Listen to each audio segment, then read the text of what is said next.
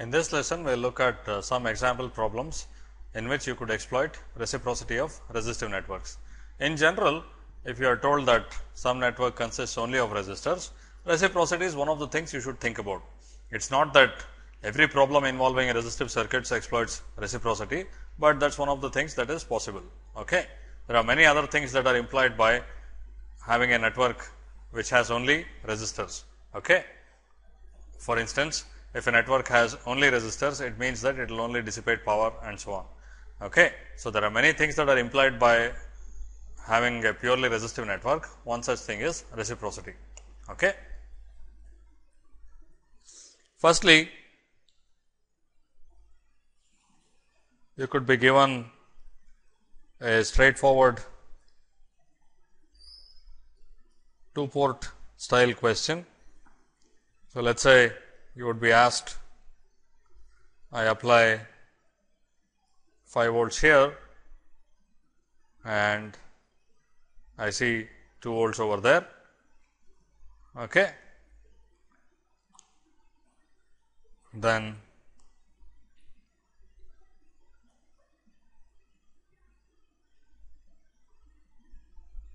if I apply 10 milliamps over here to port 2, what current will I see that way. Okay. So, this is a straightforward reciprocity problem and you can think of the g parameter equivalent for this, because from this part from the first circuit you see that G 2 1 is 2 volts by 5 volts which is basically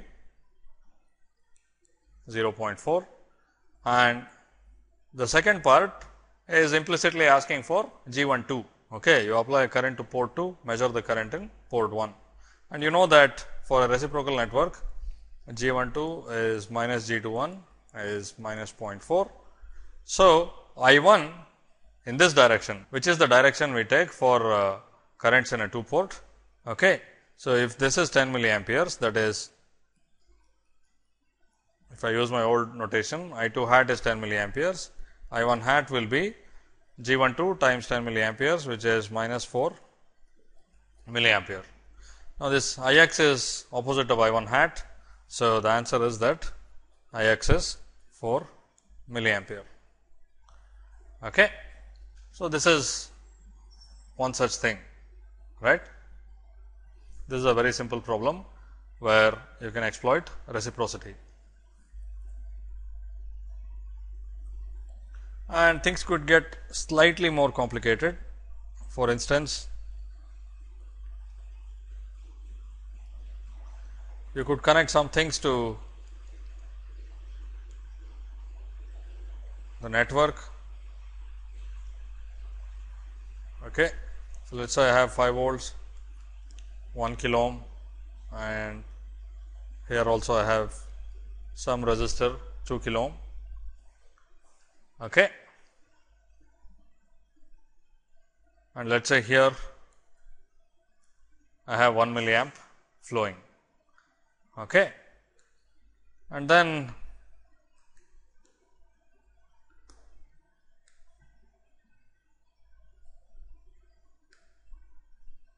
let us say you are asked this question. I apply 10 volts over there what is the voltage drop across this 1 kilo ohm resistor. Okay. Now, this looks slightly more complicated. Now, one thing you can of course do is because this is a resistive network, you can describe it with a 2 port parameter set whichever it is and apply the reciprocity constraint that is y 1 2 equals y 2 1 or z 1 2 equals z 2 1 and so on. Okay. Now, the better thing to do is to realize that this is exactly the same problem as before in slight disguise Okay. I will define my new 2 port to be something like that. Okay. This is A and A prime that is one of the ports and this is B and B prime that is the second port and that is terminated in a short circuit. Okay. And again I will take the exact same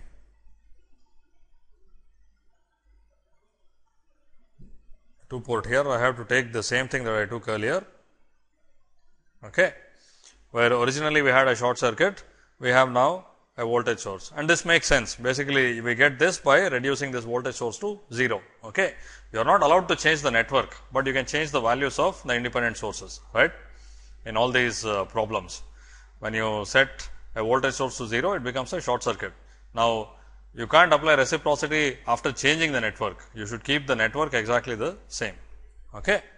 So, now you can think of whatever is enclosed within blue stuff as the inside part does not change at all. It is only the sources that are applied outside that change. Here on port A we apply 5 volts, port B is terminated with the short circuit. Here port B we have applied 10 volts and port A is terminated by a short circuit. Okay.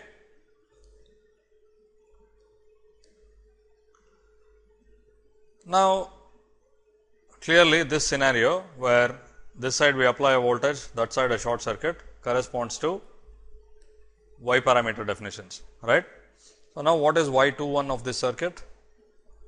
It is remember for uh, two port definitions current I b, let me show it here, I b is defined that way, okay, if b is over there and this is V a applied to port A and y 2 1 is nothing but I b by V a which is minus 1 milliamp by 5 volts, okay, because this 1 milliamp is in the opposite direction to the definition of I b.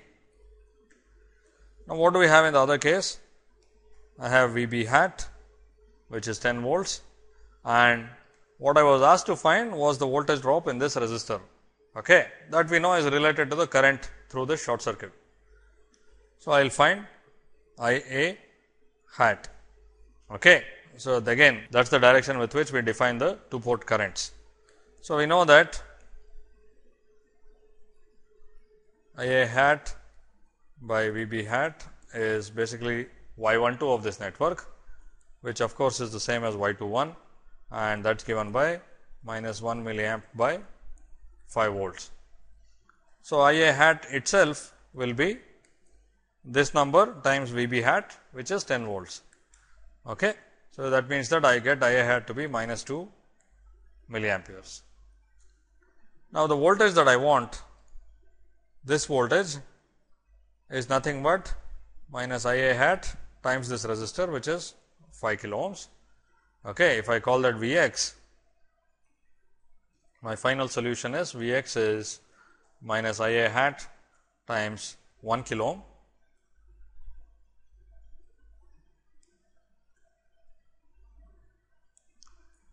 which is given by 2 volts. Okay. So, that is plus 2 volts. This voltage drop here is plus 2 volts. Okay. So, here there is something that looks like a 2 port and you have some stuff outside it, but you define your own uh, new 2 port and you can answer questions. Okay. Now, exactly in the same spirit would be instead of connecting a voltage source here, I could connect a current source across this 2 kilo ohm resistor and so on. Okay. So, that is another possibility. Now, of course, you could be given problems that do not say anything about a 2 port network. Okay. So, let us try one such thing. Now, all of these right, there are many ways to solve the problem. Okay. There are many ways to do circuit analysis. You should be familiar with a large number of ways, so that you can attack the same problem in multiple ways and that is how you also build intuition. Okay. Now, as you go to more and more complicated circuits, some techniques turn out to be easier than others. So, you should really have an arsenal of all possible techniques. Okay. Now, this problem some of you may already be familiar with.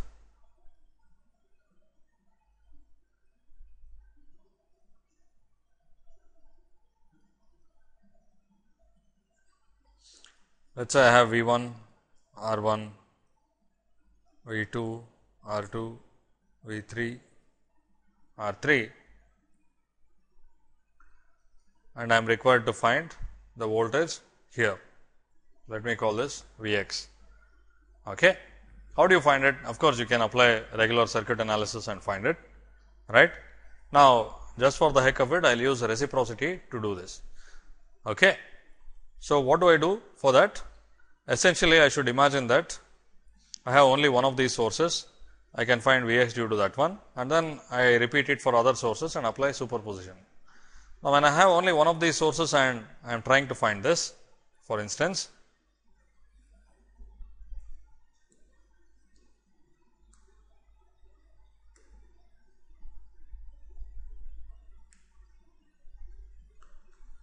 Now, I have the same circuit with V 2 set to 0 and V 3 set to 0.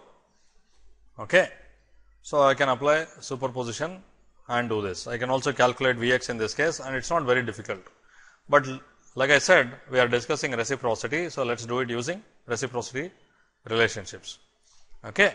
So, now I know that if I apply V 1 here I get some V x. The ratio of V x to V 1 in this circuit is exactly the same as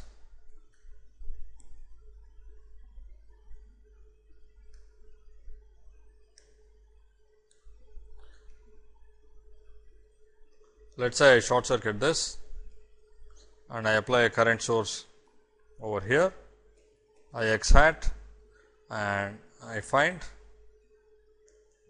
I 1 hat. I know that V x by V 1 in this circuit will be exactly the same as minus I 1 hat by I x hat. Okay. Now, why is this uh, approach advantageous at all? It looks like I am going around in loops, I mean making the problem only more complicated. The point is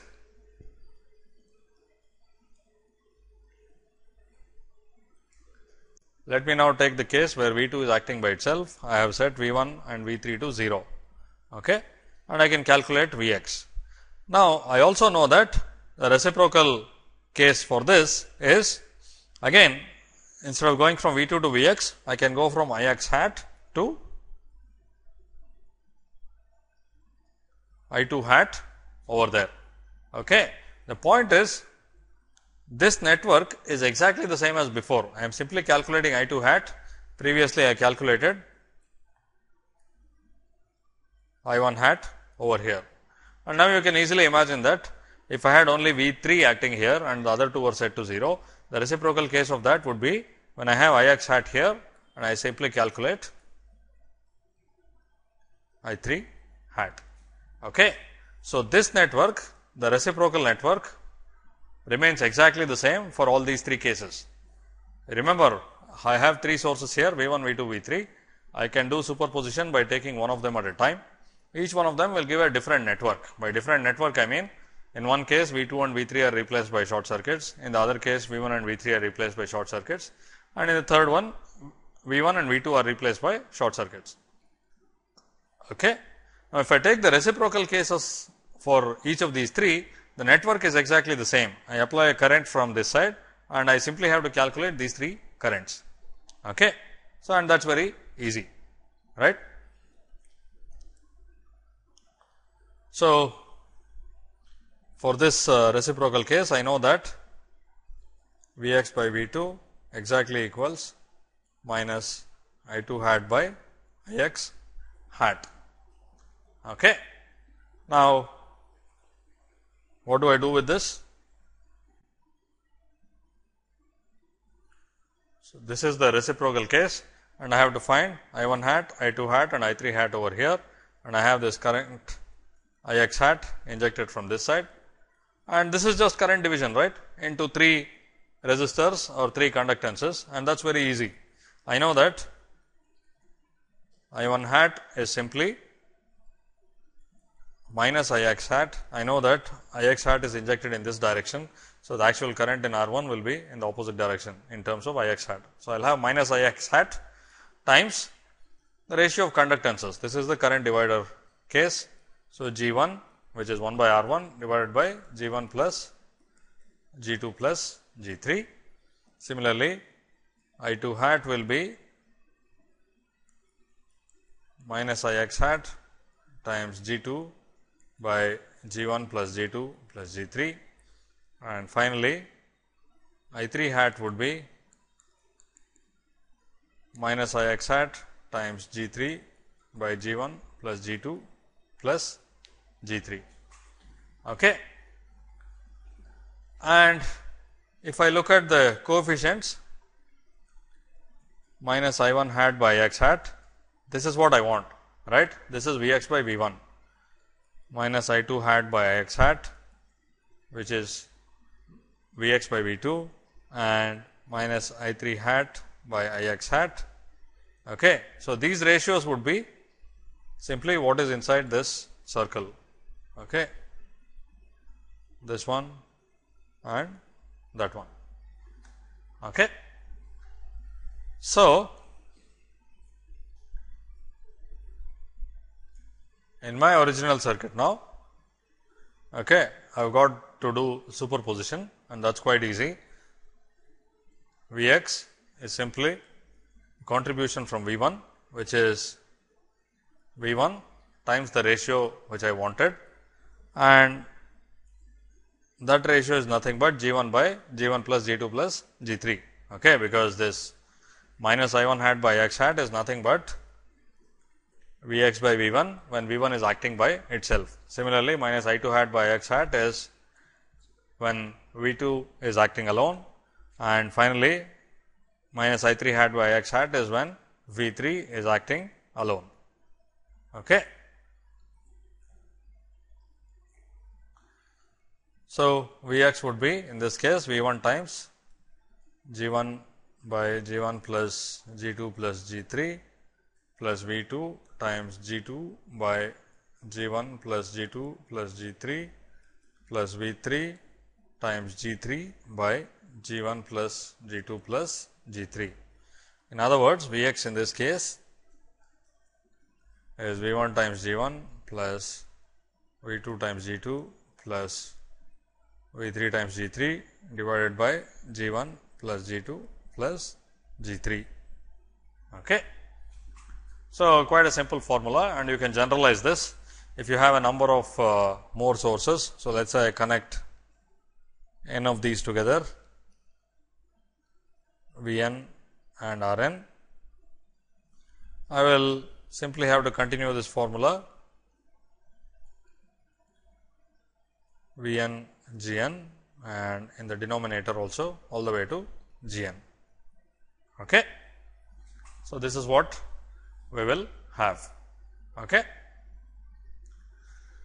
Now, like I said you can derive this in many ways. In particular, I would encourage you to try and derive this by using Thevenin and Norton equivalents uh, suitably, but this is one way in which you could use reciprocity, right.